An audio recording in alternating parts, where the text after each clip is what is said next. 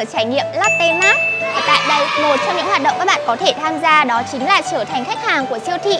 Chúng mình sẽ được phát một danh sách có sẵn và mua hàng theo yêu cầu. Bây giờ chúng mình chia nhau, tớ sẽ mua những đồ ở mặt trước, còn cậu thì sẽ mua những đồ ở mặt sau. Sau khi hoàn thành, chúng mình cùng hẹn nhau ở quầy bánh mì nhá. Ok.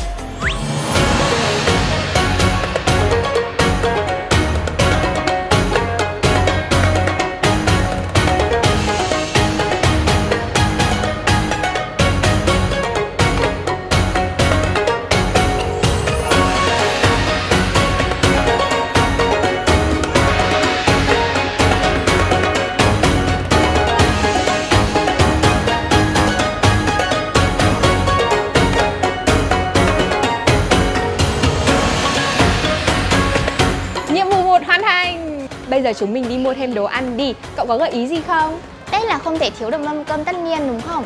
Cậu nghĩ là chúng mình sẽ phải chuẩn bị gì cho mâm cơm cuối năm nhỉ? Theo tớ, Tết thì không thể thiếu được món gà luộc rồi. Ngoài ra, Tết thì cả nhà tớ thường hay quây quần bên nhau, bên một nồi lẩu nóng hổi. Vậy nên tớ sẽ đi mua thêm một số món ăn để chuẩn bị cho ăn lẩu. Nào, bây giờ chúng mình đi thôi!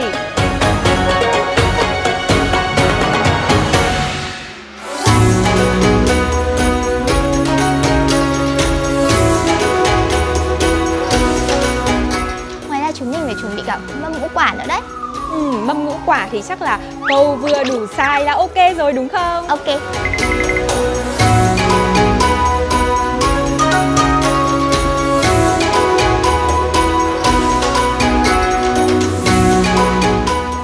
À, cậu đừng quên mua cả bánh ngọt nữa nhá.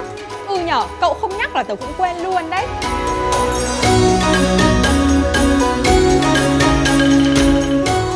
Khá đầy đủ rồi đấy. Chúng mình đi thanh toán thôi.